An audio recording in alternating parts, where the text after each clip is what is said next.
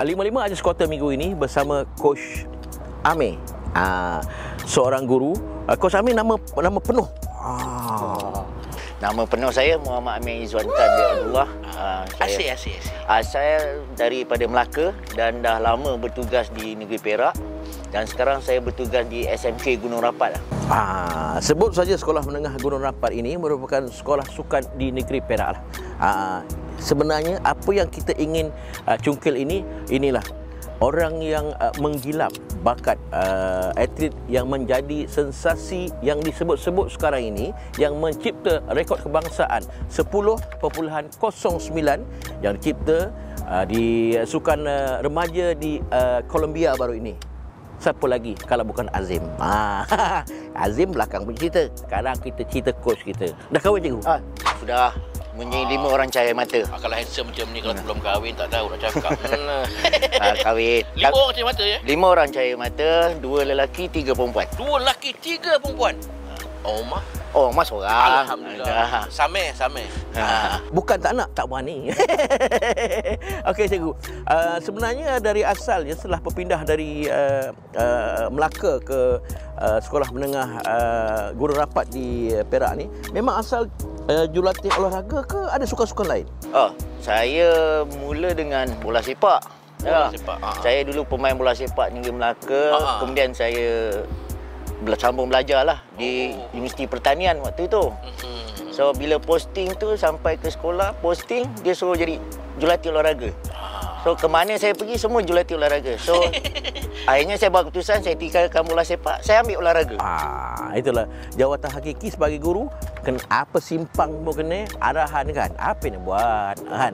baik uh, cikgu uh, sebagai uh, seorang uh, coach lah uh, apa-apa pun yang uh, biasanya uh, pokok pangkal itu apa uh, detik dan momen kita nak tengok seorang budak ni lah. Budak bu- budak kita nampak eh, wah dia ni boleh lah. Ini tak boleh lah apa ciri-ciri utama tu Du- seorang uh, coach yang berpengalaman apa tu yang macam mana kita oh, kaki dia ke ada dia punya kaki tu ter, terbuka ke ah, cuba apa ni Ya.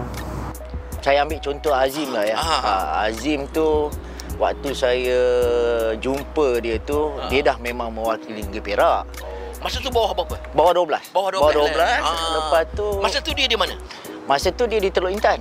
Oh, masa sekolah rendah lah. Ya, masa sekolah rendah. So Oh. masa tu saya jurulatih MSS Perak. Ha ah. So pada ketika itu dia dah dari umur 11 dia dah wakil Perak. Cuma pada ketika itu terfikir Ah. di mana Perak naik sprinter dengan keadaan Azim ketika tu agak kemetot. Aku metot. Oh, oh, lama oh. tak dengar. Kata aku metot Ah, ni. ya. Haji gampang. Ah, ya. Eh. Orang Perak ni biasa lah. Ah. Ah. Tapi itulah Abang Aziz uh, pasal dah ada Dajik Julatih ni kan. Yalah. So kita kena percaya pada proses tu lah. Ah. Kita buat sedaya ma- mana yang kita mampu nak Ya. buat. Ya, ya. Kemudian kita tunggu je lah hasilnya. Ah. Ada rezeki, murah rezeki daripada Allah. Uh, dia berjaya lah. Dan setakat ni Alhamdulillah Ah. dengan proses yang dilalui apa semua tu dia berada di tahap sekarang. Aziz. Itu itu sebenarnya peminat-peminat sukan tanah air kena tahu. Dalam dua elemen satu kalau kita mengajar melalui buku. Okey. Melalui buku ni contohnya kalau kita nak jadikan atlet macam ni macam ni step dia macam ni. Ah, satu lagi melalui pengalaman jurulatih yang dimiliki. Contoh dia bekas atlet ke bekas ahli sukan ke. Ah, kita terapkan kepada atlet-atlet ah, muda kita untuk menilai dan menggilap dia untuk menjadi sesuatu yang kita impikan dan ternyata siapa sangka di Gunung Rapat munculnya pemegang rekod kebangsaan 100 meter sekarang.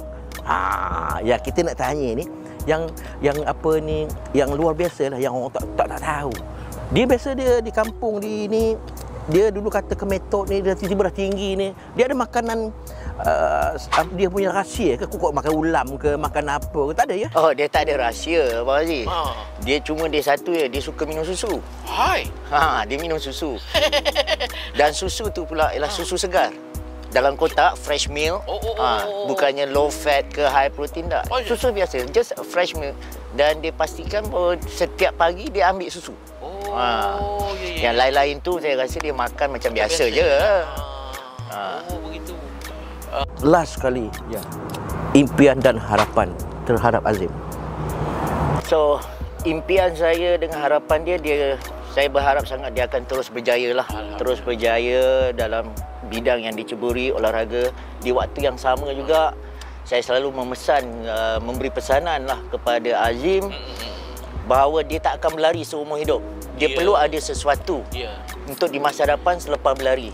So saya sangat menggalakkan lah. Saya sangat uh, ambil perhatian tentang akademik dia Ah. dan jadi dengan tawaran-tawaran yang netizen sedia maklum, Ha, ha. Dia dapat tawaran dan itu memang saya galakkan sungguhlah dia pergi. Okey, supaya dia balik dengan ada degree-nya, ha. kemudian dia berjaya sebagai atlet olahraga dan bersyukur itu rezeki yang Allah bagi pada dia hingga hari ini. Uh, satu, sebelum kita berpisah, dengan kejayaan Azim atas didikan Coach Amir kita, dia balik nanti. InsyaAllah lepas ni dia akan memilih institusi mana kat luar negara dia pilih.